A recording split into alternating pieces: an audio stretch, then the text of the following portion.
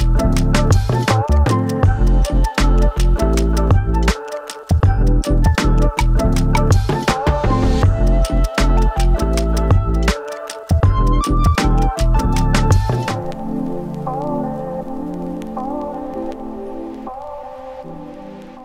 Sisterhood, estamos aquí una vez más, seguimos con nuestra serie de Sisterhood TV. Es un honor volverlas a ver.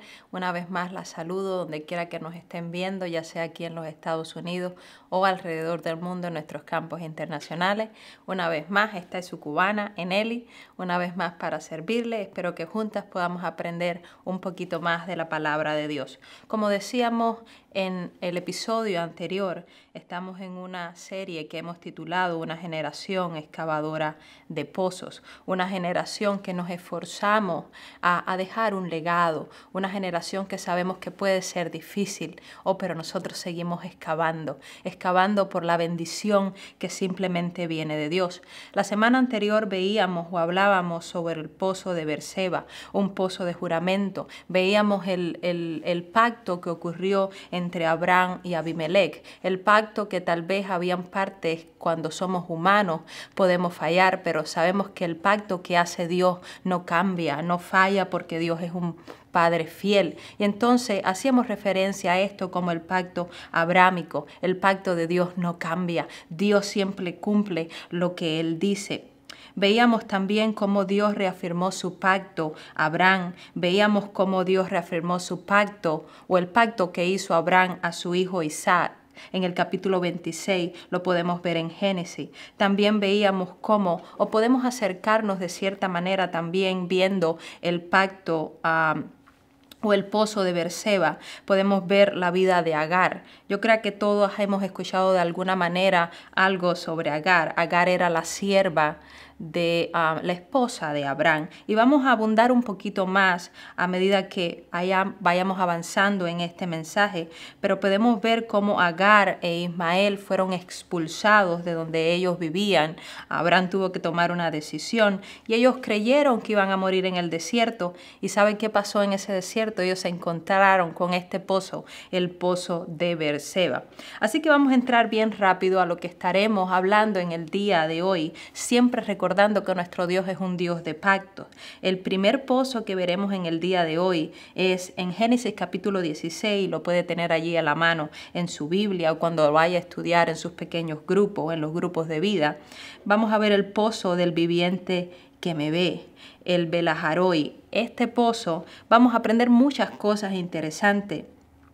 Yo creo que aquí podemos ver las promesas de Dios una vez más pasando. Y para que usted entienda lo que está pasando en este capítulo 16, Ah, Dios le había dado una promesa a Abraham, pero la promesa como que no llegaba a su cumplimiento.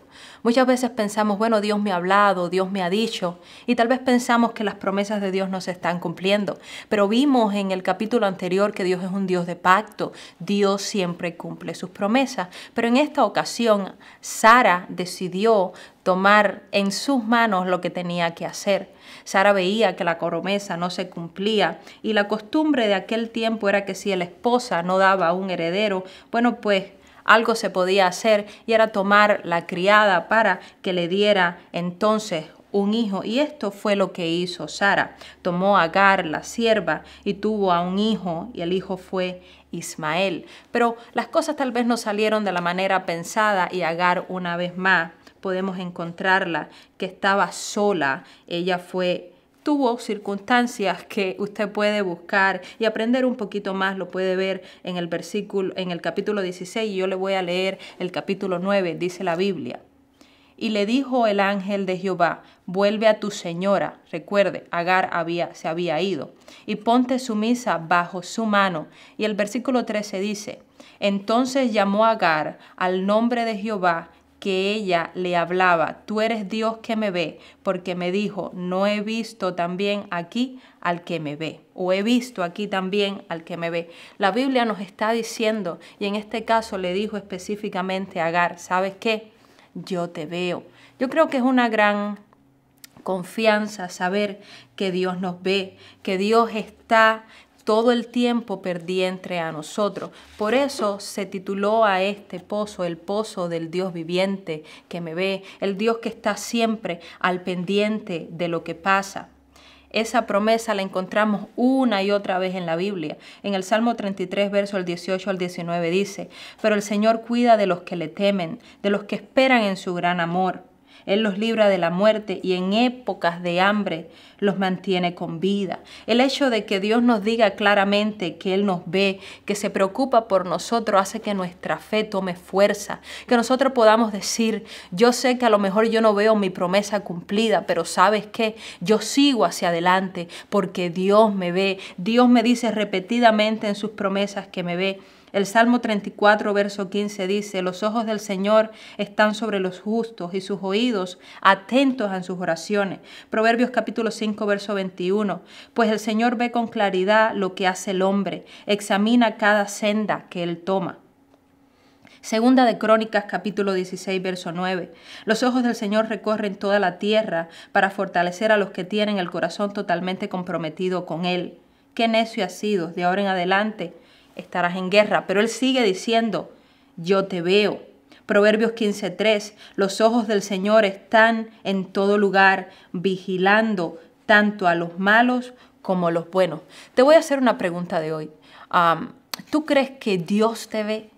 Porque muchas veces dudamos de eso, pero si tú estás dudando que Dios te ve, entonces estás dudando de tu fe. Estás dudando en, en, creer, necesitas creerle a Dios, necesitas estar segura que en todo momento, en los momentos buenos, en los momentos malos, Dios te ve. Juan capítulo 10, 10 dice que el diablo, él viene para hurtar y para destruir y para robar porque él es mentiroso, eso es lo que hace. Nosotros a veces pensamos, bueno, el diablo me robó mis promesas. No, el diablo no te puede robar sus promesas, las promesas de Dios, porque Dios hizo las promesas. Y ya estudiamos que Dios es un Dios de pacto. Ya estudiamos que Dios es un Dios que cumple sus promesas. Nadie te está robando la promesa. A lo mejor tú no estás creyendo la promesa. Es tiempo que creamos las promesas de Dios. Es tiempo que dejamos de hablar de nuestro pasado, de nuestros problemas y de nuestras situaciones y hablemos de nuestro futuro, de ese futuro que nosotros podemos encontrar en Dios. ¿Hacia dónde te diriges, Sisterhood?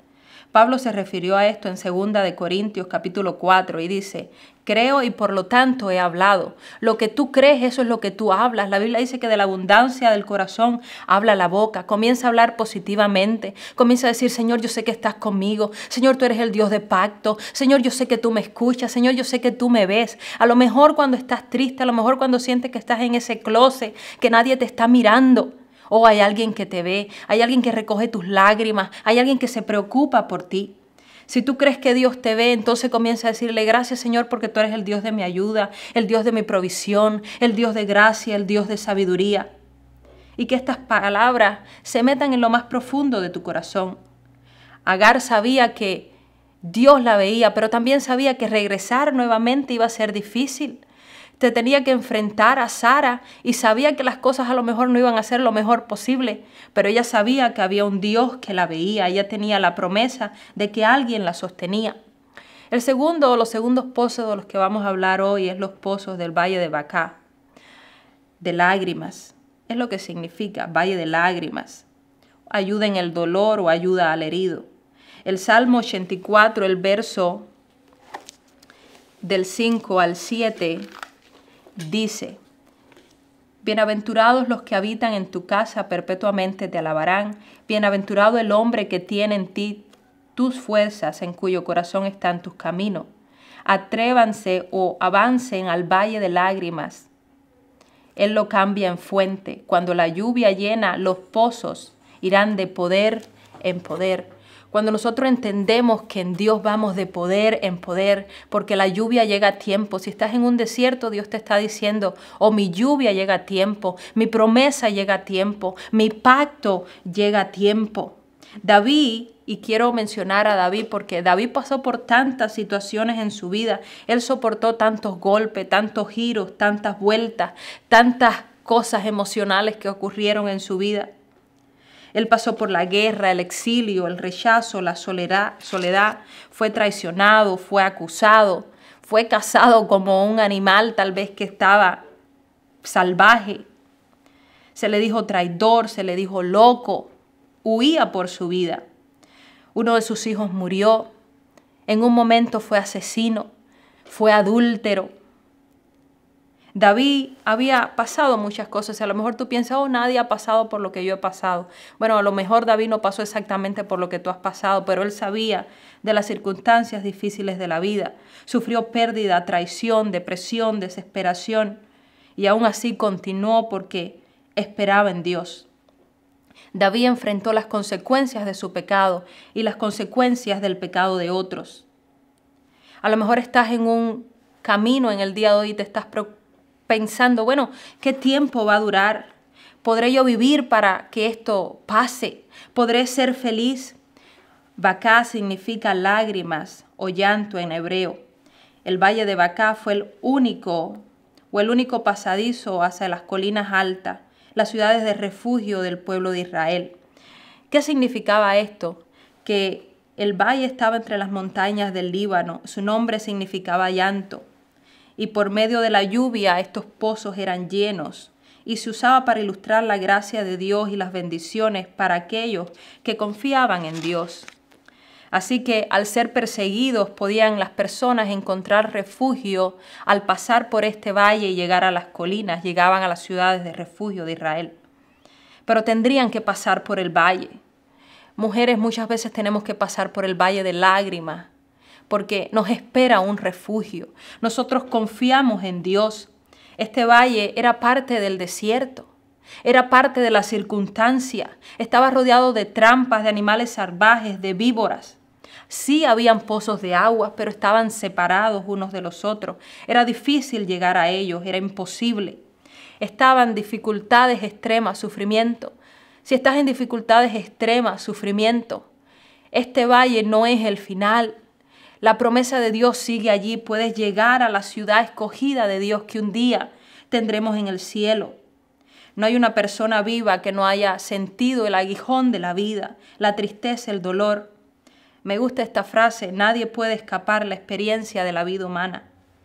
Si estás enfrentando enfermedades, peligro, sufrimiento, pérdidas de seres queridos, problemas en tus relaciones, continúa, Continúa excavando, continúa avanzando. La diferencia está en que cuando caminamos con Dios, entonces las cosas son diferentes. El viaje puede ser largo, pero aprende a entender que en Dios hay una promesa. Primera de Pedro capítulo 1, versos 6 y 7 dice, Esto es para ustedes motivo de alegría, a pesar de que hasta ahora han tenido que sufrir diversas pruebas por un tiempo. Él oró, aunque perecedero se acrisó al fuego Así también la fe de ustedes, que vale mucho más que el oro, al ser acrisolada por las pruebas, demostrará que es digna de aprobación, gloria y honor cuando Jesucristo se revele. Vamos a pasar por pruebas, pero Dios nos purifica. Tenemos muchos ejemplos que podemos decir. Moisés tuvo que pasar por un desierto, pasó por el exilio, pero fue el libertador de, este pueblo judío. Jacob tuvo que pasar por su desierto cuando le fue quitado todo. El diablo dijo, ¿sabes qué? Dame permiso. Yo quiero quitarle todo porque yo quiero probar su fidelidad, su fe. ¿Sabes qué? Él, él pasó por este desierto. ¿Cómo lo hizo? Lo hizo cavando un pozo. Él continuó más profundo. Yo quiero buscar mi relación con Dios un poco más profundo. David decíamos que tuvo que excavar, él tuvo que continuar. ¿Cómo lo hizo? A través de su desierto. Él tuvo que continuar. Él tuvo que ir al pozo, el pozo que da vida, el pozo que da agua. Si estás en un desierto, acércate al agua viva que es Cristo. Continúa cavando un pozo. Todos hemos tenido situaciones difíciles.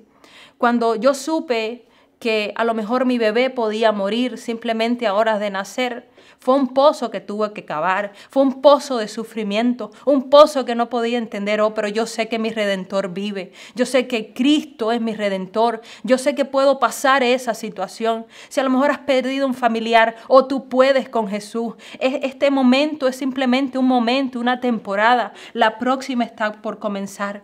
¿Cómo tú superas un divorcio? Bueno, cavando un pozo. ¿Cómo tú superas un reporte médico tal vez difícil? Cavando un pozo, buscando en lo más profundo. No te conformes con un goteo de agua. Llega al manantial, el manantial de agua viva que es Cristo. Una bancarrota. Oh, llega al manantial que es Cristo, no te detengas, sigue cavando, llega a la fuente. La fuente es Cristo. La Biblia dice que si bebemos de su agua, nunca más tendremos sed. Alimenta esas promesas con la fe que ya Él te dio. Recuérdale, es un Dios de pacto. Si estás en este pozo, en este valle de lágrimas, acércate a Dios. Yo quiero que entiendas que no es el final, que puedes continuar. Quiero que repitas conmigo, en este valle estoy ahora, pero saldré del otro lado. Continúa hacia adelante. Yo voy a orar por ti porque yo sé que las promesas de Dios son sí. Señor, gracias. Señor, todos esos pozos que estamos cavando, Dios, para encontrar, Señor, ese, ese respaldo que encontramos en ti. Ayúdanos a permanecer fiel, a no simplemente conformarnos con un goteo, sino llegar al manantial. Bendice a Sisterhood, a cada mujer. A ti te doy gracias. Recuerda, estamos juntas en esto y juntas nos ayudamos. Thank you.